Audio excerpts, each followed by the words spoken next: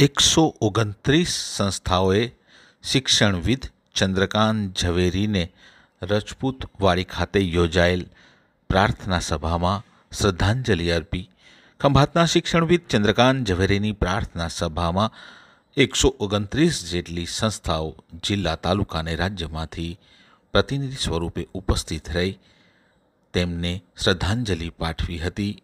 આ પ્રાર્થના સભામાં ચંદ્રકાંત ઝવેરીના ચોર્યાસી વર્ષની શિક્ષણ, સમાજ અને સાહિત્યિક યાત્રાને રજૂ કરતી ડોક્યુમેન્ટરી રજૂ કરવામાં આવી હતી.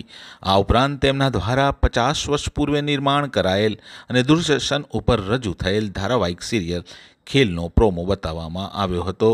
ભારતના પ્રસિદ્ધ કલાકારો તારક મહેતાના ઉલ્ટા ચશ્માના નિર્દેશક આશિત મોદી, સંજય ગોરડિયા, અપરા મહેતા, ધર્મેશ વ્યાસ, દિલીપ દરબાર, સુશીલાબેન ભાટિયા, કુમાર પાળ દેસાઈ સહિતના કલાકારો લેખકોએ ચંદ્રકાંત ઝવેરીની કલા, સાહિત્ય અને શિક્ષણ વારસાની માહિતી આપી હતી.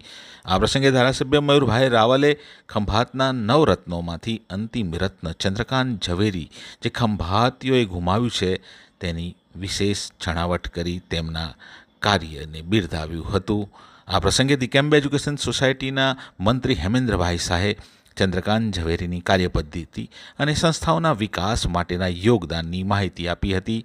પ્રમુખ વિનેશભાઈ પટેલે ચંદ્રકાંત ઝવેરીને બાળકોના હામી અને સમાજને કલા વારસાની ભેટ આપનાર મોભી ગણાવ્યા હતા.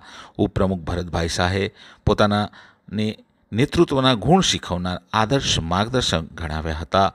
સુબોધક પુસ્તકાલયના રાજુભાઈ શાહ, લાયન્સ ક્લબના પ્રમુખ હર્ષ બ્રહ્મભટ્ટ, ડૉક્ટર બિપિન પટેલ, નાગરિક બેન્કના ચેરમેન ખુશમનભાઈ પટેલ, બાળ કેળવણી ટ્રસ્ટના ઉપપ્રમુખ નીતિનભાઈ બ્રહ્મભટ્ટ, ડૉક્ટર અશ્વિન ભટ્ટ પાંજરાપોળ સૌરભ સંસ્થા, જીવદયા ગ્રુપ, વડવાશ્રમ સહિતની સંસ્થાઓના પ્રતિનિધિઓએ પણ પોતાના સ્મરણો રજૂ કર્યા હતા.